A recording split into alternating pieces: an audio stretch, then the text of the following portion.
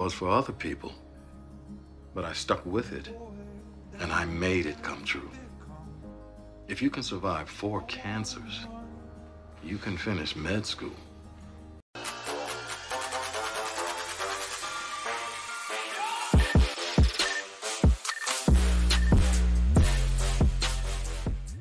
Miss Gutierrez is okay. You here to rub it in? Oh, I'm here because after the surgery, she asked where the doctor was that had the nice things to say about the animals. Tell her I'm in a straitjacket. I said that Dr. Desmond was with another patient. Desmond. Sounds like something out of a soap opera. I'm such an idiot. My dream was to be a surgeon, too. Yeah, well, lucky you. You really want to get into a contest about obstacles with me? What I was saying was my dream was a lot harder than it was for other people. But I stuck with it, and I made it come true. If you can survive four cancers, you can finish med school. Just like the times before and the times before. You know why I asked you to be my hands today? Some teaching crap, I guess.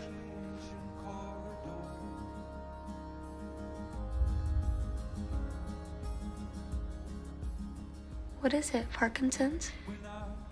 Yeah, it could be. Old age, I'm not sure. There are treatments for that now, medications. They're even working on some brain surgeries. That... There's no treatment that can let me keep doing what I love most. This job defined me.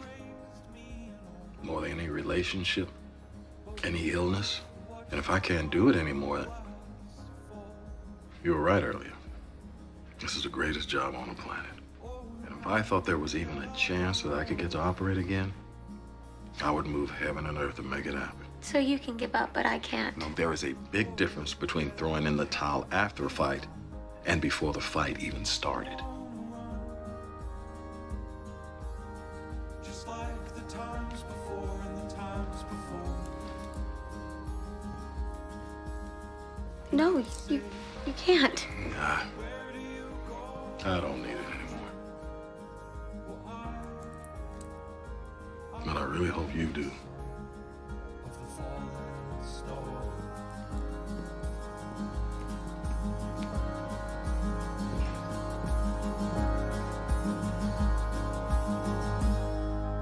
Dr. Kamasi. subscribe to what he said. Remember to click the uh, bell The bell icon. so that you can, Ding ding. you can get the notifications. You have great content.